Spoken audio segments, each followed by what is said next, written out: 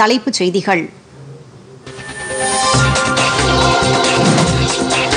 சுவாமித்வா திட்டத்தின் கீழ் சொத்துக்களுக்கு மின்னணு அட்டைகள் விநியோகம் காணொலி காட்சி வாயிலாக தொடங்கி வைத்தார் பிரதமர் நரேந்திர மோடி. சிறந்த ஊராட்சிகளுக்கான விருதுகளையும் வழங்கினார் பிரதமர்.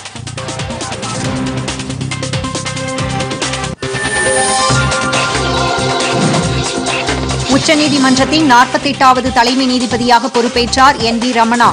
பதவி பிரமாணம் செய்து வைத்தார் குடியரசுத் தலைவர் ராம்நாத் கோவிந்த்.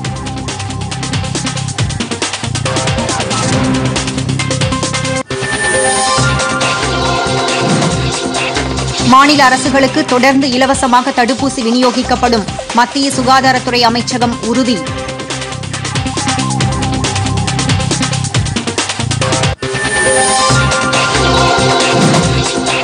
தமிழகத்திற்கு கூடுதலாக நான்கு லட்சம் தடுப்பூசிகள் வந்துள்ளன.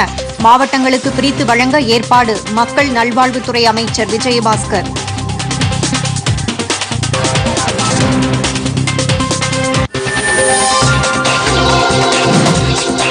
தமிழகத்தில் கொரோனா தொற்றால் பாதிக்கப்படுவோருக்கு சிகிச்சை அளிக்க போதுமான படுக்கை வசதிகள் உள்ளன. மக்கள் நல்வாழ்வுத்துறை முதன்மைச் செயலாளர் ராதாகிருஷ்ணன்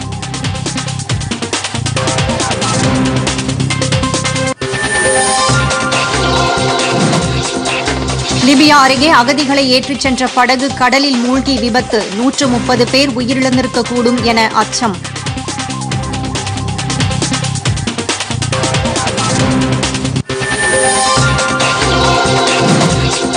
ஐபிஎல் கிரிக்கெட் போட்டி கொல்கத்தா ராஜஸ்தான் அணிகள் இன்று மோதல்.